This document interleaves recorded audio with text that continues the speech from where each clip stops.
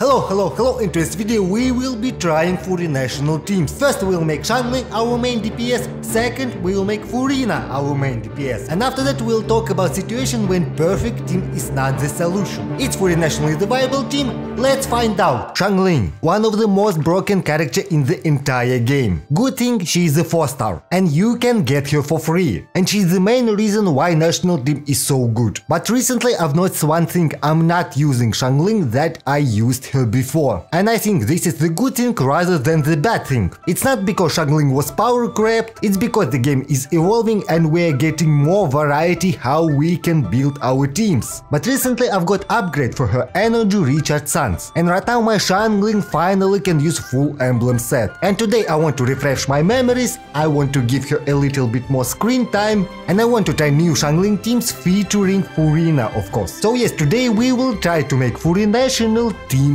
walk. Xiangling's build. Let's quickly look at the build that I'm using. For the weapon I'm using Favonius Lance. In most teams I preferring Favonius over the catch. Yes, with catch we can do more damage, but in most teams I preferring Favonius over the catch because of better energy management. If you have around 200 energy just it will immediately restore you 12 energy when you use her burst. And if your artifact has a lot of attack percentage on it because Favonius has higher base attack, the damage difference wouldn't be so high. Sometimes I'm still using the catch because this depends on the team mostly, but if your Xiangling still has energy problems with the catch, you can try Favonius and you will see the difference. Sometimes smoother rotation is better than more damage. For artifacts, of course I'm using full emblem set, my Xiangling is Constellation 6 with the talents H, 11 and 12. And for the stats we have very poor crit ratio, 60% crit rate and 100 at HD crit damage. But I'm still thinking that my Xiangling is quite balanced, because without attack sands and without pyro resonance we still have 1.3 thousand attack and 250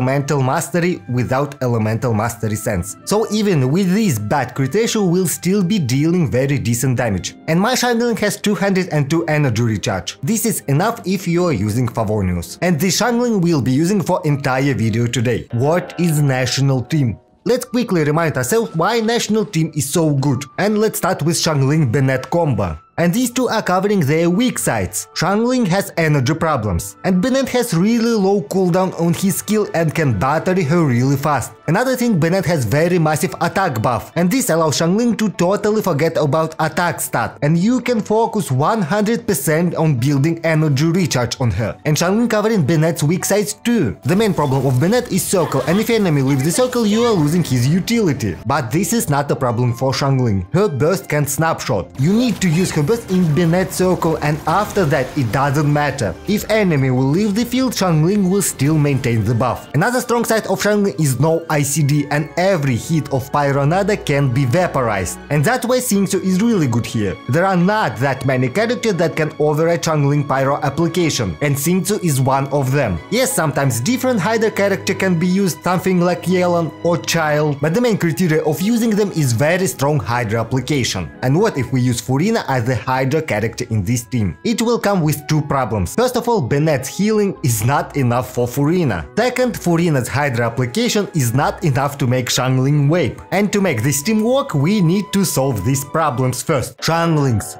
vaporize. And let's start with the first team. And first we will try to make it proper way. We'll make Xiangling the one who trigger reaction. And the easiest way to do so will be by adding another Hydro character to the team for more Hydro application. And the best candidate for this role would be Kokomi. She has very decent Hydro application and she can fulfill healer role to maintain Furina's buff. But there is one unfortunate thing, I don't have Kokomi. So we will go with the free-to-play Kokomi, Barbara. And what Barbara adding to this team? First of all, more Hydro application. She will be our driver with normal attacks. Second thing is healing, either with her skill or with her burst. And because she will be used as a driver, I'm using Ocean Hued Clam set on her. If you can utilize this set properly, this set can add pretty decent DPS to the team. For the weapons, Barbara will be using Thrilling Tales, and we will be utilizing this weapons buff on Xianglings too. Let's quickly look at other buffs that we will have in this team. Bennett is using Noblesse Oblige for 20% attack buff with Skyward Blade. And this would be 1110 attack buff with level 13 burst. And now for Furina. My Furina is C2 and with talent level 10 she will give us 100% damage increase. For the weapon she's using Pipe Sword and artifacts Fall Golden Troupe. And we are having double resonance in this team. 20% attack buff is very appreciated for Xiangling and 20% HP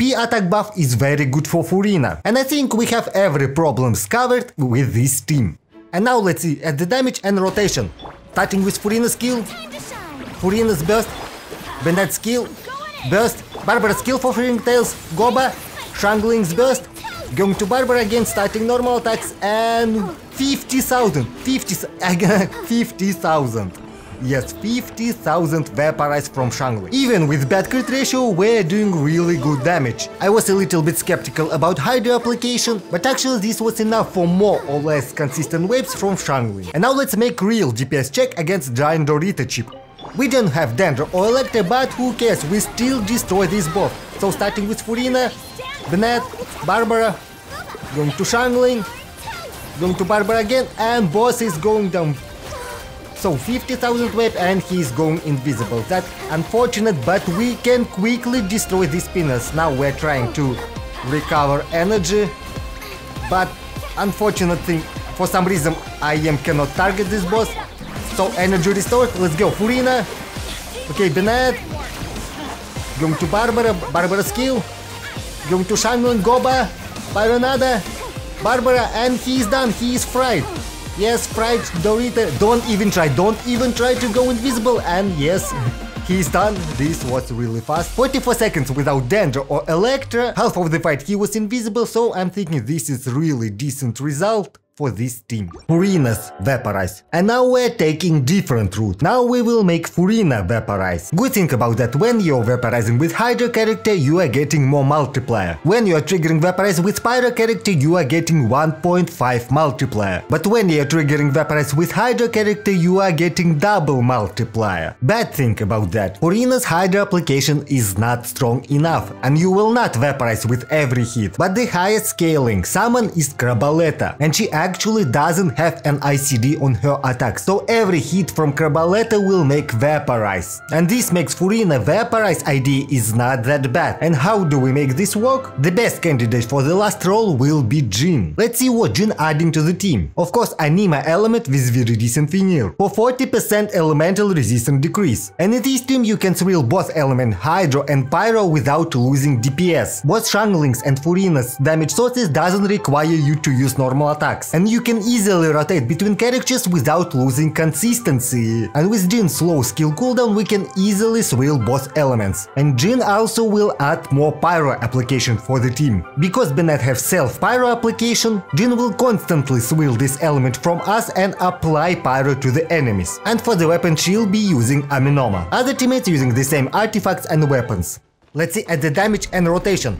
Starting with Furina's skill, Furina's burst, Jean swirling Hydro, going to Bennett getting hit, Bennett's burst, then Xiangling, swirling Pyro with Jean, and Furina made 110,000 Vaporize, that's just insane. And Xiangling was doing 25,000 Pyronado hits without any reactions. In case you didn't see the damage, let's make it slow.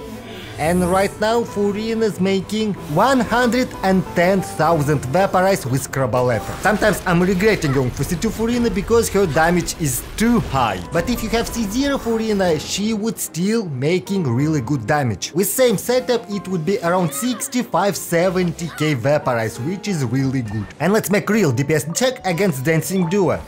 So starting with Furina, uh, then Jean Swirling Hydro, going to Bennett, getting hit, almost dying, Jean save us.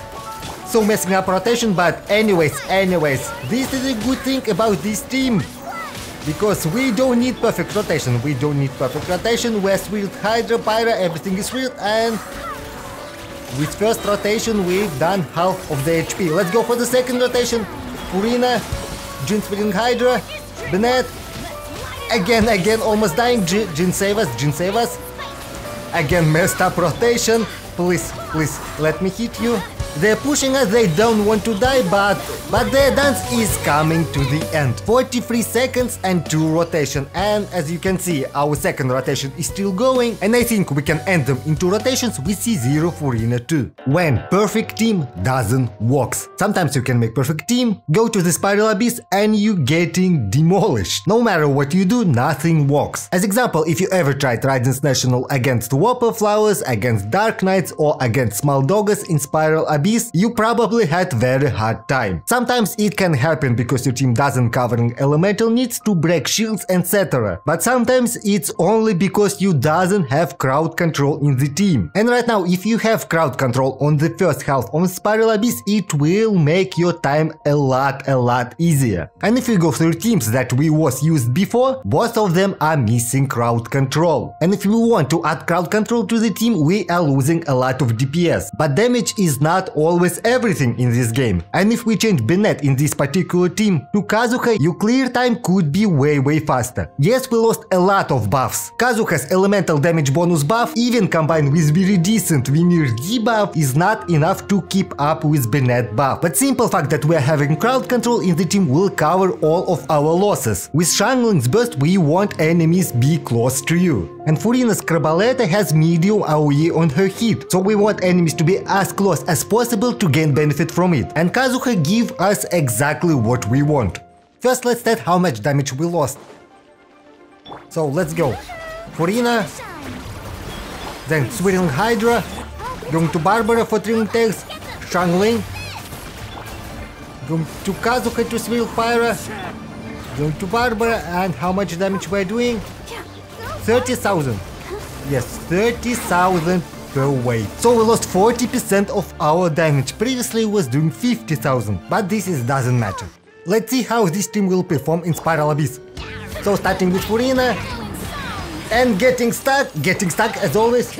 Alright, let's go. Kazuha, Barbara, Xiangling, and the first wave is done. So let's go second wave. Kazuha spilling again. The Kazuha's burst, going to Barbara. And they're uh, staying together, they're staying together. Nice, nice, nice. Go Barbara, go, go Barbara, go. They're dying pretty fast. Can we one cycle them? Yes, we can one cycle them. Perfect. Kazuha, please finish him. And we're going for the most annoying way. So Furina, Kazuha to group, Barbara for Furina Tails, go to Xiangling, Xiangling's burst. Let's go to Barbara. So they split again, they split again, but this is not the problem, Kazuha. Kazuha's burst, and they're dying. Okay, getting hit, doesn't matter. Let's finish them. We need to finish the shield. And this would be really easy with Barbara and Furina combo. Couple of hits and he will be done. Yes, he is done. Nice. 1 minute and 11 seconds. Really good result for this chamber. Conclusion. What I'm thinking about these teams? Actually, they worked better than I expected. This goes both ways when we tried Xiangling Vaporize and when we've tried Furina's Vaporize. But I don't think that I will use these teams that much. Because both of them are working extremely well independently. And most of the time you don't want to spend your most valuable supports on the same side of Spiral Abyss. What you are thinking about Furinational teams, let me know in the comments. And thank you for the watching, subscribe to my channel, and I'll see you in my next video.